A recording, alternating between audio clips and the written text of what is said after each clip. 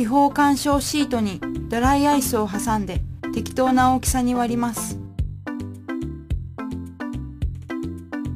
かき氷機の中に適当な大きさのドライアイスを入れ、ドライアイスの粉を作ります。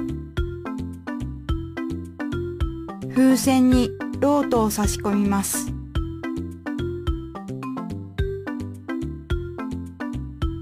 ロートを使って風船の中にドライアイスの粉を振りながら入れ、口を閉じます。